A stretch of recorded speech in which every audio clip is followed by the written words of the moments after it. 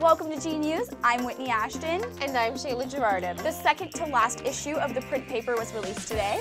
Make sure you grab a copy from one of the newsstands around campus. A quick Google search of the best college majors will reveal that computer science, or some branch thereof, is found on nearly every single list. But despite the popularity of the major, the computer science program at Pepperdine is only a contract major.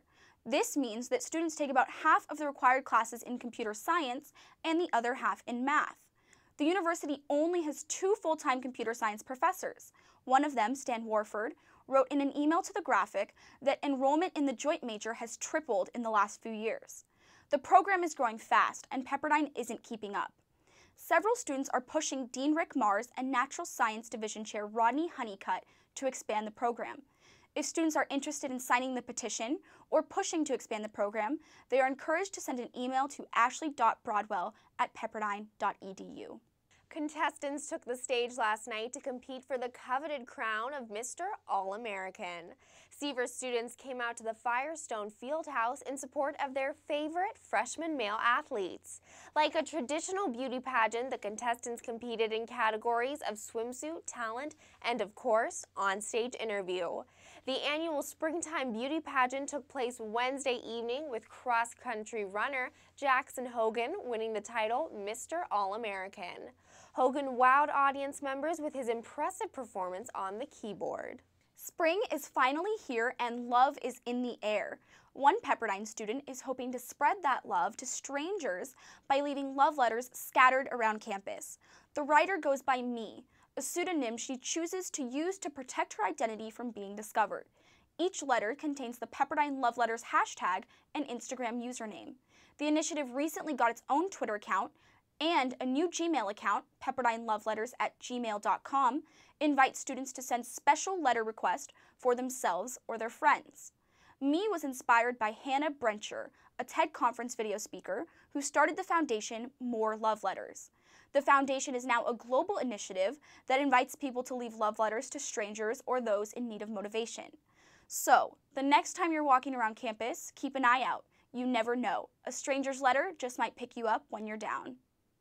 Associate Dean of Students and Director of Housing and Residence Life, Brian Dawson, is resigning at the end of spring semester. Dawson said he is leaving in order to pursue opportunities where he can have more interaction with students. The national search for a new director is now underway and is led by Dean of Students Mark Davis. After initially narrowing the pool from 60 candidates to 10, the committee is conducting final interviews now. Pepperdine hopes to announce the new director by the end of the semester. In an effort to extend wireless coverage for students working outdoors, Wi-Fi access points will be installed in the outer parts of the buildings surrounding Joslyn Plaza. Chief Information Officer Jonathan See said that the Pepperdine network suffers intermittent Wi-Fi access and slow speeds, mainly due to the buildings physically blocking the signal. In an effort to provide students with better wireless coverage, See said that the Joslyn Plaza access points will be the first of many to be added. Other possible access points that may be added in the future include the amphitheater, Adamson Plaza, and the seating area near the fountain. The Los Angeles County Supervisor and longtime supporter of Pepperdine, Zev Yaroslavsky, will give the Seaver College commencement address. The ceremony, which takes place Saturday, April 26, will feature some last-minute advice from this year's graduation speaker. Yaroslavsky was elected to the LA County Board of Supervisors in 1994. He has represented the Malibu municipality for the past 20 years, which includes Pepperdine's property. Yaroslavsky said he is looking forward to speaking at Pepperdine.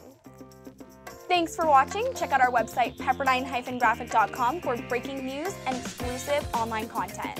Facebook, tweet, or Instagram us at the handle at pepgraphic and your text or images just might be featured in the paper. We'll see you next time. Have a great weekend.